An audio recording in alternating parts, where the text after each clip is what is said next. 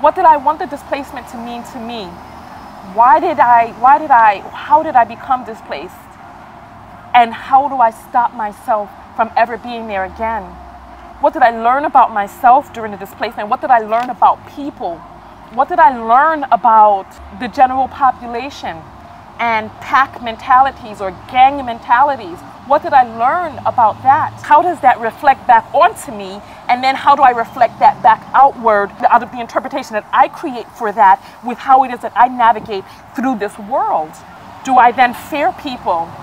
Or do I open up my heart wider to let more people in or to accept more people?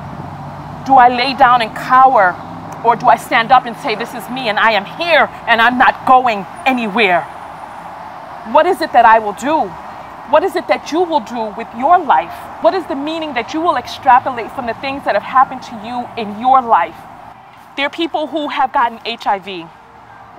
What do they do with that information? Do they then spread the, the, the, the, the illness outward? Or do they stand up in front of other people and talk about their experience or try to educate other people? It's like the choice is each of ours and the choice is individual. And it's like in your life, you have to realize that you are the author of the story of your life. And what type of story is it that you're going to make about your life? What will it be? It's all about choice. We have choices. What is it that I choose for me and what is it that you choose for you are going to be different, and that's okay. That is okay.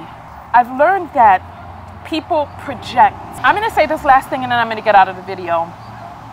Because I remember, I remember during my displacement, Tamar Braxton had been fired from the Real. And I remember that there were people who came out and they were salivating. They thought it was funny. They were like, see there? Because somewhere along the line, somebody taught them that it's not all right to be yourself. It's not all right to be loud if you choose to be loud. That you have to fit into someone's someone's paradigm of what it is that they consider to be ladylike or proper or whatever that you have to fit into that. And if you don't then you will be penalized you will be ostracized and that that's what you deserve. And somebody else thought you know what? If it's okay to be you. And if one if one opportunity doesn't work out for you it was not the right opportunity for you. So that you go on to a different opportunity there are some people, and then this is, this is going to be the last thing that I say.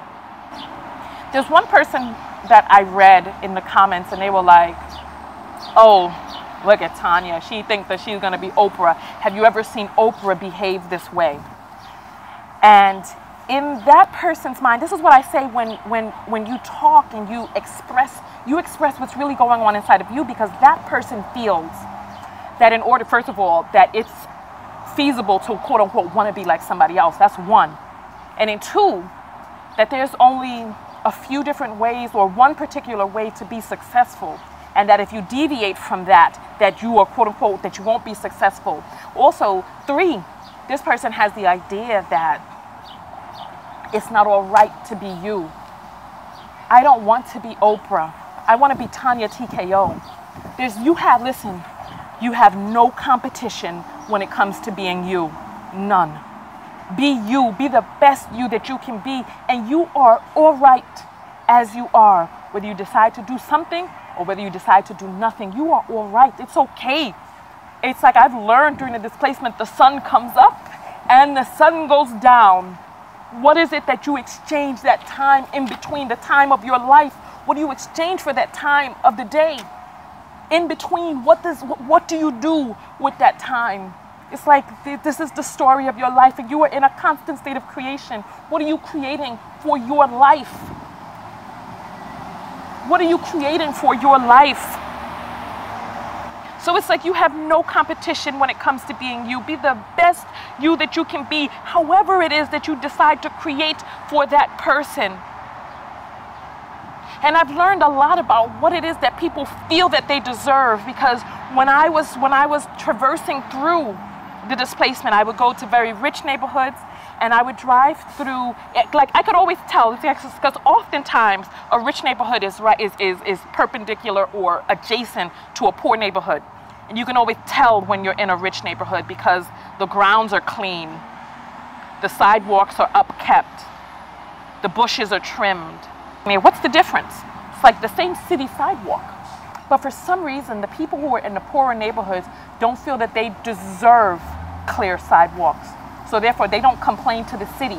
They just accept it as it is. They just accept the cracked and the dirty and the broken sidewalks and the, the broken street lamps, and they just they just accept that as it is. Like, oh well, this is I. What can I do? I don't deserve any more than this. So I've learned a lot about people and myself and why is it that there are certain certain things, certain compulsions and certain things that I like. Did I like those things because I had money before? Or do I like those things because this is a part of, of who it is that I am and who it is that I choose to be, whether I have money or not? Do I eat well because things are going well? Do I sleep well because things are going well? Or do I find a way to eat as best as I can no matter how things are going? Do I find a way to love myself regardless? And you know what? It's like, so I decided to write a book. I decided to give my displacement some meaning and be able to help other people because I had to go through the journey had to go through the journey back into self-love.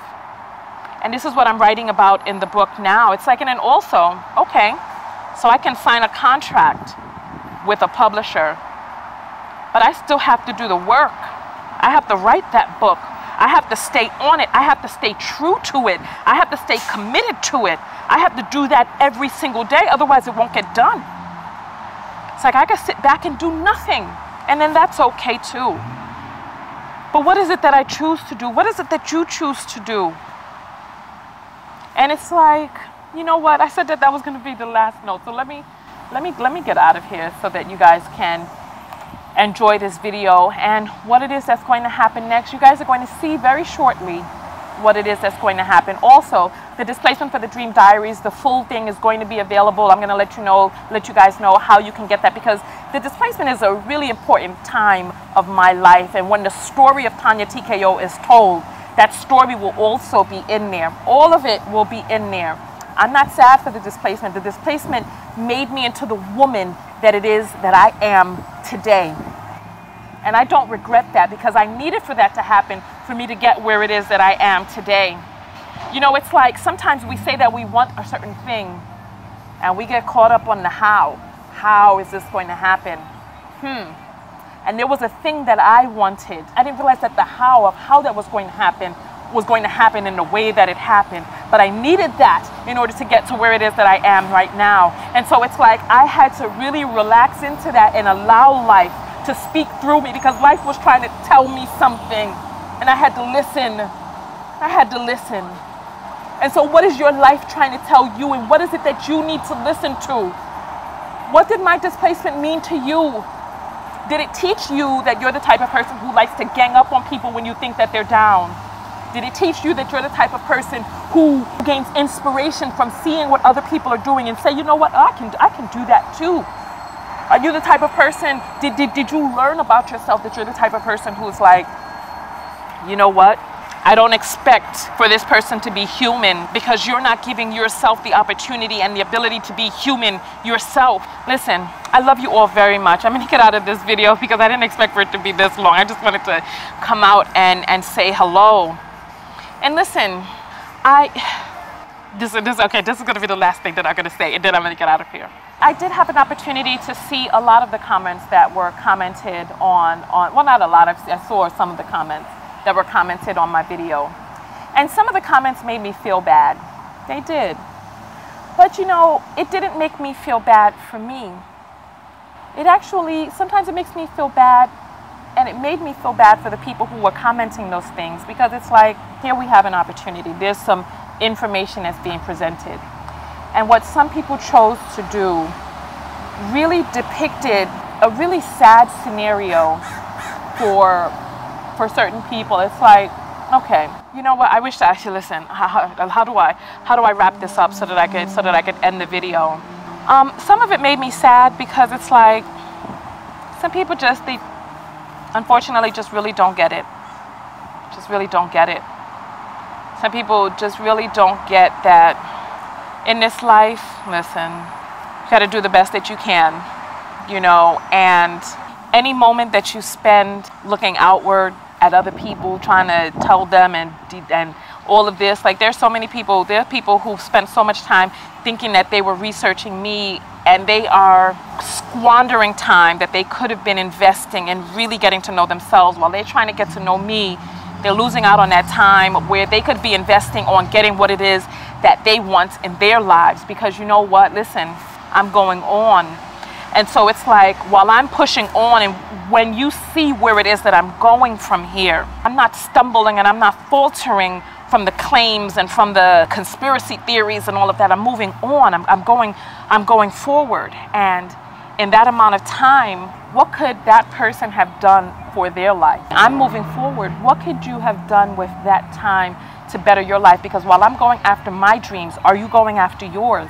Or Are you sitting there criticizing a person going after their dreams? What you are witnessing is a person who has gone all in in pursuit of her dream. What are you doing to actualize and realize your own? While you're sitting there watching me thinking that this is entertainment, what are you doing for your own life? What are you doing for the for the pursuit of your own dreams? Because I'm going after mine full throttle. Nothing's going to stop me. Nothing. I'm doing the work. I'm showing my dedication. I'm doing it. However, I hope that the same people who spend the time investing into trying to come up with these theories about me, I'm hoping that you're dedicating the same amount of time, if not more, to yourself. How can it even be the same amount of time? I would hope that you're investing so much more time into yourself. Anyway, listen, let me get out of here on that note. Hug me, hug me. I love you guys. Love, love, love, love, love, love, love, love, love. Yes, yes, yes. Now go out there and love one another. But most importantly, what? Let me hear it. Love one another, but most importantly, love yourself. Love yourself. And self love is taking the time to look inward. Self love is taking the time to find truth for you. Self love is accepting yourself as you are. Self love is doing the work. Self love is finding purpose and meaning in your own life. Self love. So, one more hug, one more hug. Love you guys. And I will see you all in the next video. But like I said, you guys are going to see soon. You guys are going to see soon. So, I'll see you all later. Peace. I. I felt it in my spirit to add this before I uploaded the video because I feel that somebody may need this message. Childhood molestation, rape, death, miscarriage, the loss of a job, the loss of money, the loss of your physical abilities. What does all of this mean? Why did any of this happen? And it's really only up to you to find meaning in it. And what's going to be meaning for one person is going to be different than what will be the meaning for you. And it's up to you to find the meaning of the events in your life for you or not and they're both okay. And I will I will finally finally finally end on this note. I've been I've been hearing about a lot of people dying lately. Cancer, car accidents, mishaps. I mean even if you look if you look on on social media and even in some of the some of the famous people that we've known, Prince is dead, Muhammad Ali. And it's like you know, I was just looking, I was looking at the Instagram of an associate yesterday, and he was talking about this young lady that he hadn't been in touch with for some time. And they had a really close friendship before, but then he looked up on social media and she was gone. It's like her pictures are all still there, but she's no longer on this earth. It just makes me think we got one shot and there are no, there's no do-overs there's no take backs. There's no rewriting.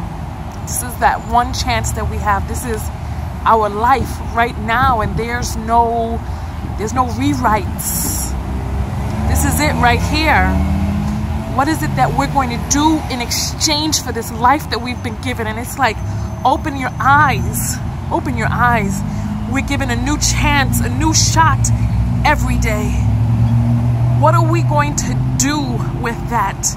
And I can say this listen, a lot of people can say a lot of things about Tonya, but the one thing that they can never say is that I did not try. That I did not try. Nobody can say that I did not try. Because while I was here, I did everything that I could to make my life into what I want it to be. And I can only hope, I can only hope that you're doing the same thing because there is no second chance. This is it. We, for those of you who believe that we can come back, we can come back in a different life as a different person.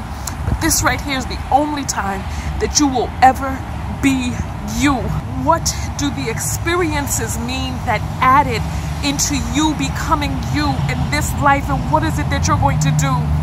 Are you going to die with your song still inside of you? I chose not to. I chose not to. And the road has been bumpy along the way, but I was not going to stay in an existence which did not feel like me. I wasn't to stay in that existence. So the only thing I can do as I close out this video is beseech you, beseech you to realize time, oh, time is so precious. You know, I think about things a little bit differently because my mother died when I was 19. And in a few months, I would have outlived the age of my mother. So, coming from very early in my life, death and no rewrites has been a part of my life. And so, I come at this from a different perspective because I'm going to say this, and I don't typically talk about the details of, of my mother's passing, but I'll say this. When my mother died, she had her keys in her pocket, meaning she thought she was coming back home. Whenever we walk out these doors during the day, we don't know what's going to happen out there in those streets. We don't know whether or not when we wake up one morning that that will be our last day here on this earth. We don't know. We don't know. And so that's part of the reason that sometimes I feel so sad for the people who are investing all of this time in the Tonya TKO takedown. And it's such a waste up of their lives. It's like I'm taking my shot and I'm going for it in my life. What are you doing with yours? What is the meaning of all of the events in your life and what purpose will you give that? And what are you going to do about it? What are you going to do about it? And where do you go on from here? Where do you go? What do you do from here? And that's it. I'm going to hug you guys and I'm going to get out of here. Hug me. I love you guys very, very much. Go out there and love one another. Most importantly, love yourself. Love yourself. And loving yourself is finding meaning, taking control, and going for that, realizing that there are no do-overs. We get one chance. Once you have written onto the story of your life, it is so written. You can always make a choice for the future to change the future and change things. But what happened in the past happened. What sense will you make of it? What purpose will you give to it to get you to where it is that you want to be? And where is that? Listen, only you know. Only you can choose that. I'm choosing for me. I'm not dying with my song inside of me. And I'm giving meaning to all of the things that happen, taking control of the things that happen in my life. And I only wish the same for you. One more hug and then we're out. Love, love, love, love, love. I will see you guys in the next video. Peace.